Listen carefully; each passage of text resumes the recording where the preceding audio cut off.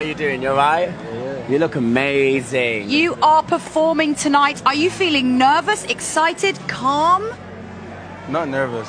You feel Never. calm. Do you not? Do you not get nervous? I, I literally sang calm down, so I gotta be calm, you know. That's Yeah, so true. I did say. I did down. say as you were coming in, I was like, hopefully your presence is going to calm us down. It really is. I'm just. Can we all take a big deep breath? Yeah, And out. Because that that is. Rema, you're bringing that energy. You're bringing that energy. Your We're gonna breath calm has down. Just help us calm down. Thank you for that. Um, what does it feel like? Obviously, you performed right here at the O2 in your headline show last year. How does it feel to be back? Wow. It's a blessing. That venue gives me so much memories. And um, it's a honor to represent the culture Yeah. out here at the Brits. Um, also, I know my fans out there waiting to see me perform. They are. Oh, they are. It's gonna be a lovely moment watching my growth and seeing me on that stage. Yeah, and is there anything you can tell us about tonight's performance? Any little hints? Come on, give us a little something, something.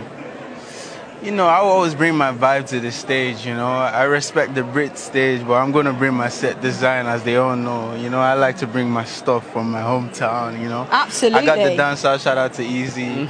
Um, and yeah, I came in with the Rave Bandits as well. That's my band, so it's gonna Sick. it's gonna be it's gonna be huge. It sounds perfect.